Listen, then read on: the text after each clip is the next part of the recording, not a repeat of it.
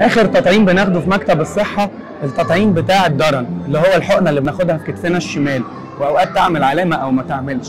ده ملوش آه، دلالة إذا كان التطعيم اشتغل ولا ما اشتغلش. ممكن ما تعملش علامة ويبقى شغال. ودي بناخدها ما بين عمر زيرو ل 40 يوم. طيب لو أنا شاكك هي اشتغلت ولا ما اشتغلتش ممكن أعمل تحليل بعد كده يقول لي الحقنة دي اشتغلت ولا لأ. مجازا.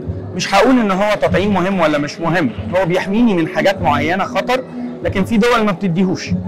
فما نقلقش قوي لو ما لقيناهوش شغال وممكن نكرره تاني.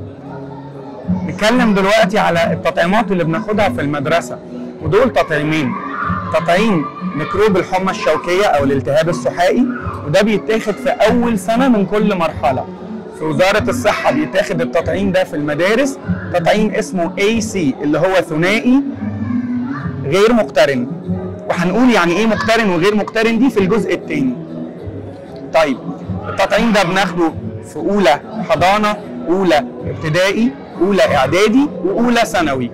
والمفروض إن إحنا نكرره كل سنتين لثلاثه عشان نضمن إن مستوى المناعة متحافظ عليه وان أنا دايما عندي مناعة من الميكروب ده.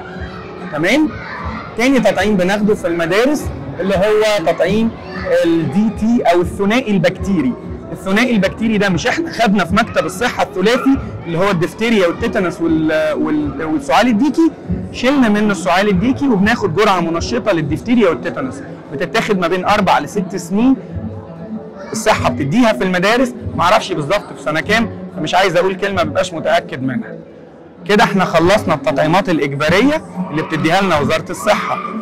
اشوفكم في الجزء الجاي ونتكلم عن التطعيمات الاختيارية أو الإضافية اللي ممكن ناخدها بره وزارة الصحة. اشوفكم على خير.